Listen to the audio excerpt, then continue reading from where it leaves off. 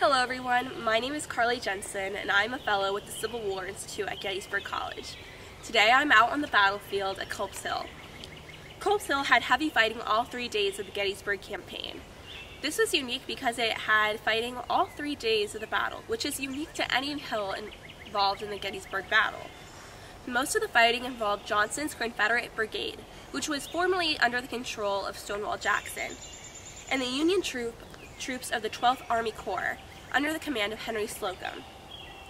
On the evening of July 2nd, the Union Army had the high ground here at Culp's Hill. However, a substantial part of the army was called away to help um, the Union left flank, which was being attacked by Longstreet's assaults. This gave the Confederates what they believed was an amazing opportunity.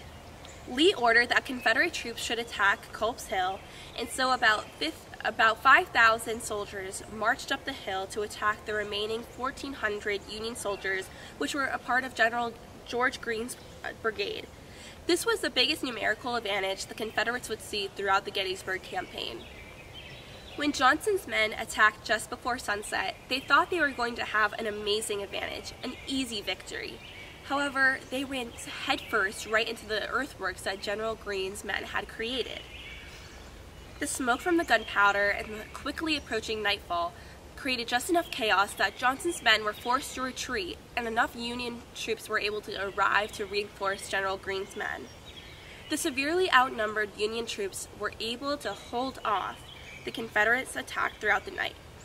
Just before sunrise, the battle resumed, and although the Confederates attacked three separate times, they were not able to take Culp's Hill. It was during this bloody fighting that Edwin Forbes sketched his account of the battle.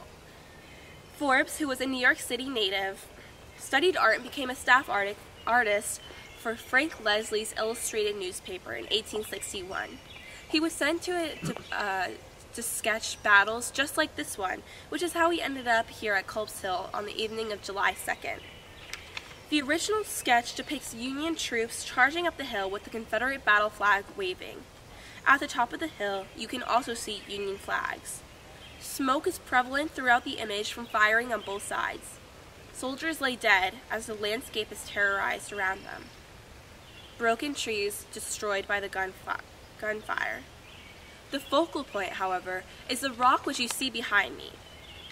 Confederate soldiers used this rock as protection from Union fire as they assaulted Culp's Hill. However, this sketch isn't the final product. Forbes would have gone back and created a painting, and this would have been mass distributed and something that has now created an iconic image of the fighting on July 2nd. Sketch artists were vital for, under, for the public's understanding of the war. Although photo photography is the medium most people think of when they think of images of the war, it was actually not that widely used during the war. In fact, images of uh, the war through sketches were much more prevalent because photos could not be mass distributed and they also couldn't capture motion in the same way that sketches and paintings could. Instead, sketch artists risked their lives to capture images and accounts of the war. These images could be printed in newspapers and circulated widely to not only illustrate battle scenes, but also camp life and marching. People on the home front were hungry to learn more about what happened on the front during the war, and these images served to shed light on the truth of the battle. Forbes' depiction of the fighting on Culp's Hill on the evening of July 2nd and the morning of July 3rd became a vital piece of art and a first-hand account of the battle. It is yet another way we as historians can piece together what truly happened during the battle. Thank you.